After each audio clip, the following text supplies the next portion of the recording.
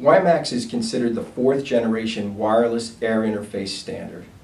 As the fourth generation standard, it has the benefits of all the standards before it, plus it's data centric. It's focused on data, which means that broadband wireless coverage is offered wherever WiMAX is. Today, there are over 4 million wireless subscriber units in the WiMAX family. There's over 590 networks that are running in over 148 countries around the world. While the first networks were focused at 2 gigahertz, the new networks rolling out today are in the 3 gigahertz bands. We're also starting to see the first generation of mobile handsets that handle the WiMAX waveform. It's an exciting time for everyone because these are true broadband handsets. The WiMAX ecosystem is actually developed very strongly over the last several years.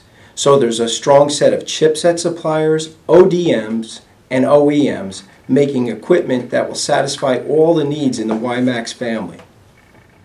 As other 4G standards roll out, like TD-LTE and FDD-LTE, the relationship between those and WiMAX will come to light. The one thing for sure is that at ANADIGICS we're focused on power, efficiency, and size. So we'll have answers for all of those applications as we understand and learn more about them.